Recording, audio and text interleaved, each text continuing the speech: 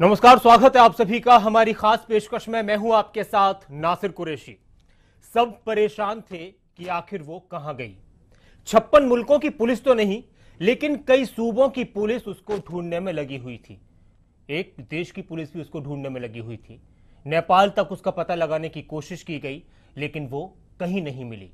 आखिरकार अचानक से टीवी चैनल्स पर हनीप्रीत नज़र आती है और फिर बहुत सारे सवाल शुरू होते हैं। उसका एक इंटरव्यू सामने आता है, जिसमें वो रोते हुए अपनी बेगुनाही को बताती है कि उसने कुछ नहीं किया। उसको इस तरह इतना बड़ा खलनायक बना दिया गया, वो उसने काम ही नहीं किए जिस पर आरोप लगाए गए हैं। और आखिरकार हनीप्रीत आ गई है। अब फिर से बहुत सारी चर्चाएँ शुरू हो रही हैं। हम भी चर्चा करेंगे। बहुत सारे पहलुओं पर, पुलिस पर, मीडिया की भी बात होगी, हनीप्रीत की बात होगी, और इस पूरे प्रकरण में क्या कुछ घटा है, उन तमाम पहलुओं पर बात होगी।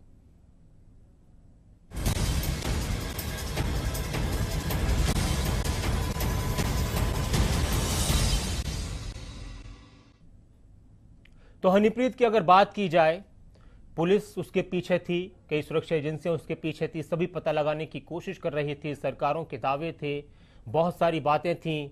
देशद्रोह का मुकदमा दर्ज था, पंचकुला के सेक्टर पाँच में उसके ऊपर दंगे भड़काने का मुकदमा दर्ज था और यह भी कहा जा रहा था कि उसने एक साजिश भी रची थी, एक साजिश रची गई थी कि गुरमीत राम रहीम को जब सजा सुनाई गई कोर्ट की तरफ़ से तो गुरमीत राम रहीम को भगाने की साजिश रची गई थी, उस तरह के भी आरोप लगे। आखिरकार हनीप्रीत सामने आती है, पुलिस के पास नहीं पहुँचती है, पुलिस उस तक नहीं पहुँचती है। मीडिया के ज़रिए वो अपनी बात कहती है कि उसको जिस तरह से खलनायक बनाने की कोशिश की गई, उसको इस तरह से बनाया गया, चटकारे ले लेकर मीडिया में उसकी खबरें, गुरमीत राम रहीम से उसके संबंधों की खबरें बताई गई। ये तमाम ऐसी चीज़ें थी, उस सब पर वो जवाब देती है कि मैंने कुछ नहीं किया, मुझको ऐसा खलनायक क्यों बनाया गया? लेकिन सबसे बड़ा सवाल यह है कि पुलिस ने उसकी गिरफ्तारी की, सरेंडर किया हर हर, हनीप्रीत कहती है कि मैंने सरेंडर किया है। पुलिस कहती है कि हमने गिरफ़्तार किया है। हरियाणा पुलिस, पंजाब पुलिस पर आरोप लगाती है कि पंजाब पुलिस ने पूरा ड्रामा रचा है हरियाणा पुलिस की फजियत और हरियाणा सरकार की फजियत कराने के लिए। अगर बात की जाए इस पूरे मामले में तो मीडिया का भी एक बहुत अहम रोल रहा कि मीडिया के सामने हनीप्रीत पहुँचती है। मीडिया में लगातार उनतालीस दिन से अड़तीस दिन से जब से वो फरार है, तब से खबरें चल रही हैं। हनीप्रीत और गुरमीत राम रहीम के रिश्तों को लेकर, डेरा सच्चा सौदा को लेकर। और एक ऐसा माहौल बनाया गया कि पता नहीं क्या होने वाला है हनीप्रीत के आ जाने के बाद, कितने बड़े बड़े खुलासे होंगे। अब पता चलेगा कि क्या कुछ खुलासे होंगे, कितनी बातों का उसके ज़रिए पता चलता है, क्या कुछ वो बताने वाली है।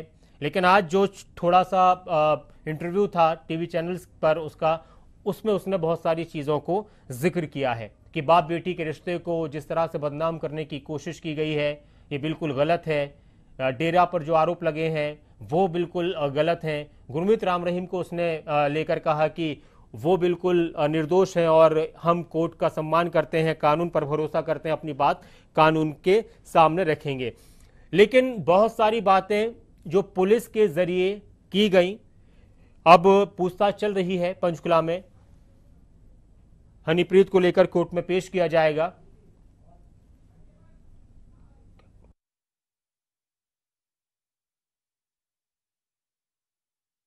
है और जो आरोप हनीप्रीत पर देशद्रोह के आरोप लगे, उसको लेकर वो बड़ा परेशान नज़र आई कि उस पर देशद्रोह जैसे आरोप थे, वो बिल्कुल मेंटली डिस्टर्ब डिस्टर्ब थी। समझ में नहीं आ रहा था कि जो भी उसको सलाह मिली और उसी के तहत वो चलती रही। इस तरह की बातें की जा रही थी।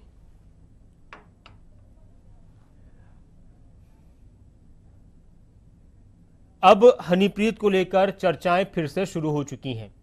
पंजाब की जीरकपुर में पटियाला रोड से हनीप्रीत को गिरफ़्तार किया गया। दोपहर तकरीबन तीन बजे उसको गिरफ़्तार किया गया। पुलिस का कहना है, लेकिन हनीप्रीत यह कहती है कि मैंने सरेंडर किया है। इन तमाम बातों पर हम चर्चा करेंगे कि पुलिस अक्सर गिरफ्तारी और सरेंडर को लेकर भी बात करती है। कितना फ़र्क पड़ जाता है किसी केस को लेकर जब इस तरह की बातें आती हैं। तमाम खास मेहमान हमारे साथ जुड़ चुके हैं, उनका परिचय मैं आपसे करा देता हूँ, तारुफ उनसे करा देता हूँ। हमारे साथ इस वक्त स्टूडियो में कांग्रेस से, कांग्रेस के महासचिव मोहम्मद बिलाल साहब हैं, बहुत बहुत स्वागत है आपका। अरुण राठी साहब हमारे साथ हैं एडवोकेट है, सर, बहुत बहुत स्वागत है आपका। साथ ही हमारे साथ अशोक शेरवाल साहब हैं इंडियन नेशनल लोकदल पार्टी से बहुत बहुत स्वागत है आपका। डॉक्टर सुरेंद्र धीमान साहब हमारे साथ हैं, ब्यूरो चीफ, दैनिक हरी भूमि के बहुत बहुत स्वागत है, सर, आपका। राठी साहब, सब शुरुआत में आप ही से करता हूँ। आज जिस तरह से तमाम चीज़ें सामने आई, हम पहले भी हमने बात की इस पूरे मामले को लेकर मीडिया की जितनी कवरेज थी, बहुत मजबूती के साथ, बहुत ही कह सकते हैं इंटरेस्ट के साथ मीडिया में कवरेज चल रही थी, हनीप्रीत कहाँ है, क्यों है कहाँ गई, कैसे नहीं आई, कब पकड़ा जाएगा, तमाम चीज़ें थी। आज जिस तरह से हनीप्रीत की गिरफ्तारी हुई है, पुलिस ये कह रही है कि हमने गिरफ़्तार किया, हनीप्रीत कह रही है हमने सरेंडर किया। एक बहुत कॉमन सी बात है, अक्सर लोग समझना चाहते हैं कि इसको इसको लेकर खींचतान क्यों होती है? सरेंडर किया, गिरफ़्तार किया, किसी केस पर इससे क्या फ़र्क पड़ता? है देखिए, नासिर भाई, सरेंडर और गिरफ़्तार में सबसे बड़ा फ़र्क ये है कि सरेंडर मुलजिम खुद जाके चाहे कोर्ट के सामने करे हाँ। या पुलिस ऑफिशियल्स के सामने करे अपने आप को प्रस्तुत करता है कि हम्म। जी मैं इस मुकदमे में आया हूँ इन्वेस्टिगेशन ज्वाइन करना चाहता हूँ। पुलिस अरेस्ट करती है कि जी ये हमने इस मुलजिम को पकड़ा है ये भाग रहा था। इसमें दोनों पक्षों का ये है कि जब हम सरेंडर करते हैं तो जब माननीय अदालत के सामने हम जाते हैं का अपना बेल के लिए केस रखते हैं जमानत के लिए हम्म। तो ये दिखाने की वजह कि हम कहीं भाग नहीं रहे कहीं हम कानून के से आगे से भाग नहीं रहे हैं। हम्म। कानून का सम्मान करते हैं। हर तरह से हम सहयोग करने को तैयार है। हम खुद पेश हुए हैं हम आए हैं।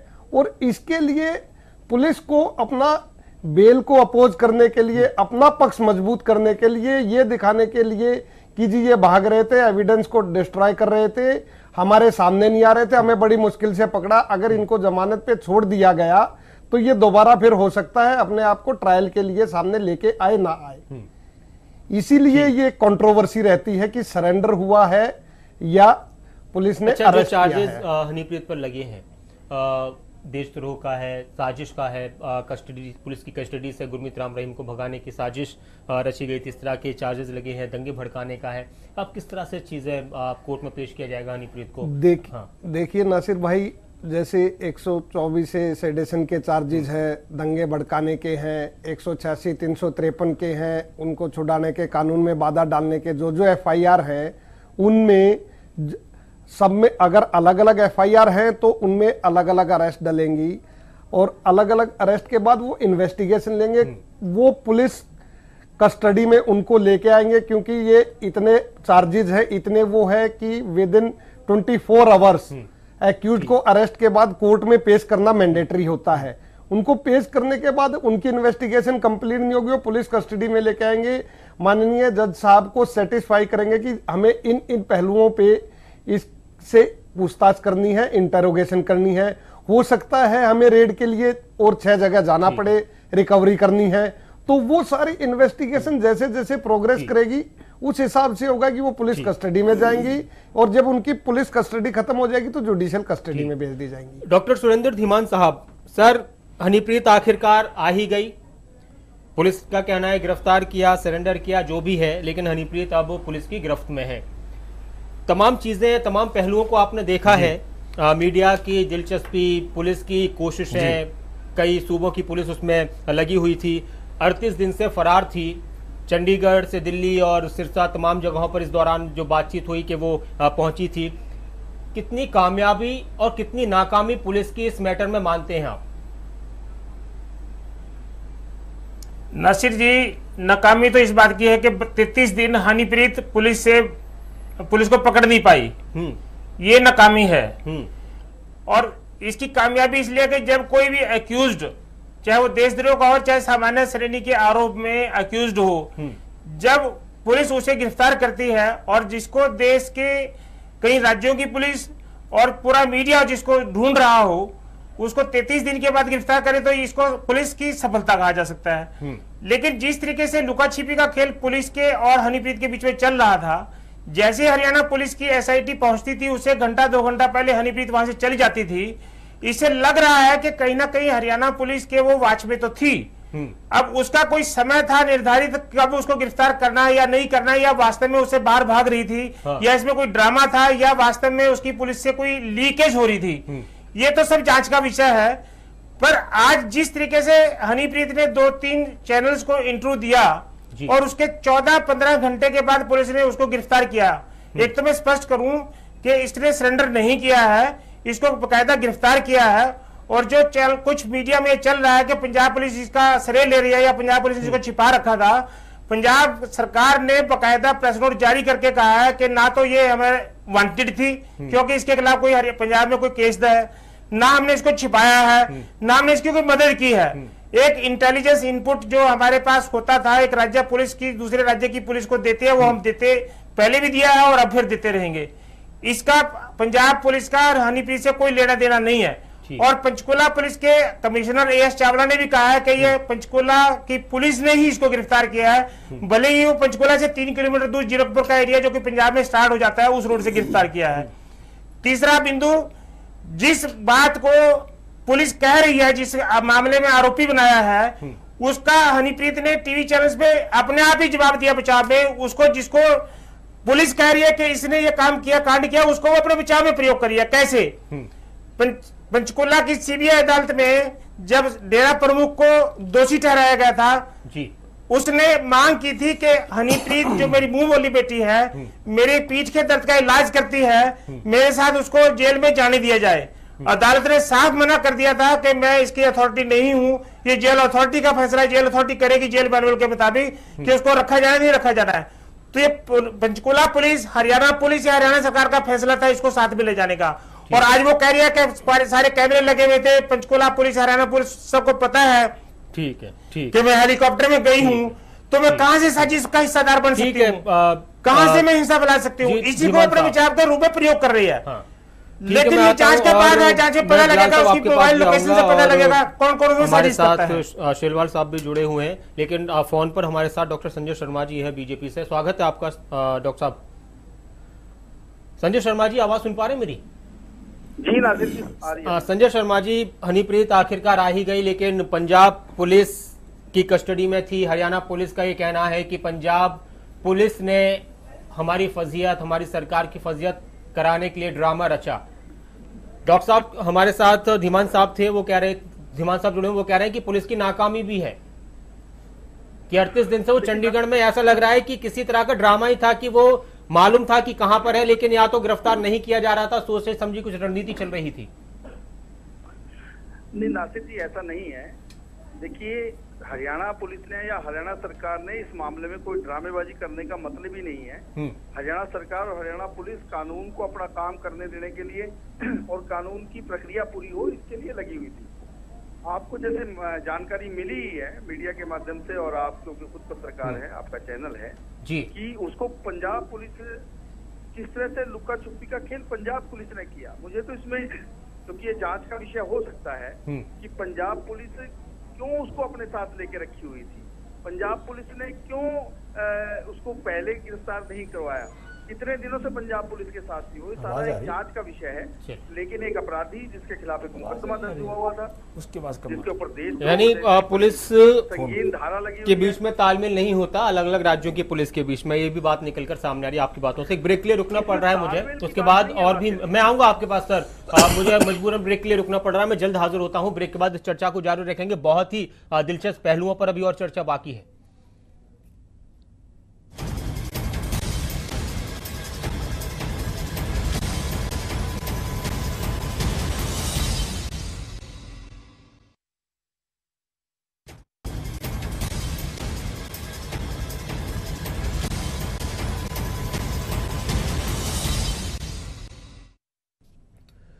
ब्रेक के बाद स्वागत है आपका। बहुत ज़्यादा न कुछ कहते हुए चर्चा की शुरुआत करते हैं। तमाम खास मेहमान जुड़े हुए हमारे साथ।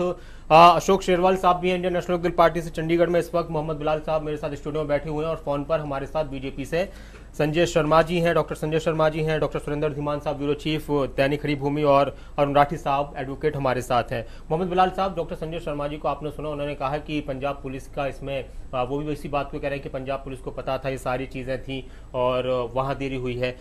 जबकि इस तरह के केसेस में ऐसा होता है कि ये तो बड़ा हाईलाइट केस था जो भी इसको जल्दी से गिरफ़्तार करता, वो, उसी को प्रशंसा मिलती, उसी को उसका फ़ायदा मिलता, तारीफें होती। ये जो अभी संजय भाई जिस चीज़ को कह रहे थे कि ये पंजाब पुलिस ने हरियाणा को नहीं, ये समझ में एक बात से परे है कि ये हरियाणा की सरकार, या हरियाणा की पुलिस कर क्या रही थी? अड़तीस दिन में इन्होंने राजस्थान में भी एक ड्रामेबाजी करी थी, वहाँ तो इन्हीं की सरकार है। इनको इनपुट कहाँ से मिल रहे थे? इंटेलिजेंस इनका फेल सीआईडी इनका फेल सरकार का टोटली फेलियर इनके साथ। और फिर कहते हैं कि पंजाब पुलिस या पंजाब सरकार, इनको बदनाम करने के लिए ये लोग क्या कर रहे थे?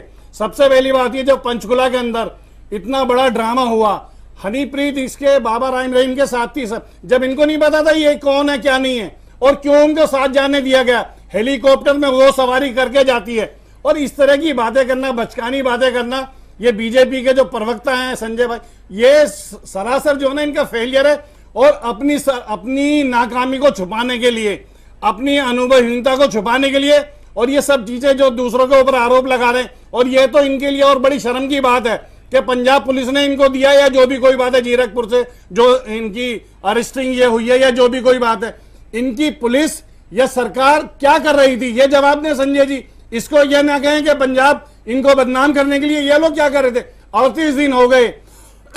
और हनीप्रीत अभी पीछे जैसे मीडिया में भी आया और उसको दिखाया गया बाकायदा। दिल्ली हाई कोर्ट के अंदर वो आई है। तो इनका ये समझ में नहीं आया कि बॉर्डर इनके क्रॉस हो रहे दिल्ली के आसपास हरियाणा लग रहा है। पंजाब के साथ हरियाणा लगता है। तो इनकी पुलिस क्या कर रही थी? इनकी बॉर्डर पे इनकी पुलिस क्या कर रही थी? जो इसमें नाकाम रहे। ये सरासर इनका फेलियर है और अपनी नाकामी को छुपाने के लिए दूसरी सरकार के ऊपर आरोप लगाना जवाब दूँगा मैं डॉक्टर संजय शर्मा जी से लेकर अशोक शेरवाल जी के पास चलते हैं। अशोक शेरवाल जी हनीप्रीत आखिरकार पुलिस की कस्टडी में आ ही गई। बहुत दिन से ढूंढ रही थी पुलिस। हरियाणा की पुलिस भी ढूंढ रही थी। लेकिन अब हरियाणा की पुलिस पंजाब पुलिस पर आरोप लगा रही है। मोहम्मद बिलाल साहब, सरकार और हरियाणा पुलिस को दोनों को ही कटघरे में खड़ा कर रहे हैं। आप क्या कहेंगे, शेरवाल साहब? निश्चित तौर पे कुरैशी साहब, जो हनीप्रीत जी का केस पिछले अठहत्तर दिन से चल रहा है, इसके पीछे सरकार की और पुलिस की आपस में मिली भगत के कारण ही इतना लंबा ये केस चला है। और इस सरकार को खुद पता था, पुलिस को खुद पता था कि हनीप्रीत कहाँ पर है। इनकी इनपुट जहाँ जहाँ भी मिलती थी, चाहे नेपाल जा करके जा करके देख करके आए हैं अलग अलग स्टेट में गए हैं, लेकिन ये बिल्कुल सरकार की मिली भक्त है। जब हनीप्रीत दिल्ली में जाकर के वकील पे जाकर के जा सकती है, क्या सरकार को पता नहीं है क्या इनका खुफिया तंत्र फेल हो चुका है? सीआईडी फेल हो चुकी है। तो मैं कहता हूँ, बिल्कुल फेलियर है। सरकार फेलियर है पुलिस फेलियर है और जहाँ तक जब यानी कि इंटरव्यू के सामने आकर के इंटरव्यू देती है तो क्या सरकार को इस चीज़ का मालूम नहीं है तो ये बिल, मैं, मैं कहना चाहूँगा कि आज ये पंजाब पुलिस को यदि बदनाम करने की कोशिश कर रहे हैं इनकी अपनी अपनी नाकामी छुपाने के लिए सब कुछ कर रहे हैं कहीं ना कहीं जो हालात आज देशद्रोह का यदि मुकदमा हो हम्म। हनीप्रीत जी के ऊपर हुआ है मेरा मानना है देशद्रोह का यदि मुकदमा होना चाहिए तो सरकार के ऊपर होना चाहिए और सरकार में बैठे हुए मंत्रियों पर होना चाहिए। अच्छा जी। क्योंकि एक धारा 144 लागू होने के उपरांत जो पंचकूला के अंदर लाखों की तादाद में लोगों को आने दिया गया। जबकि पता था कि यहाँ पर क्या होने वाला है। हम्म। तो इसके जुम्मेवार यदि जो भी हत्याएँ और जो आगजनी हरियाणा प्रदेश के अंदर हुई तो इसके जिम्मेवार यदि है तो हरियाणा की पुलिस और हरियाणा की सरकार हरियाणा की सरकार हाँ। जिम्मेवार है।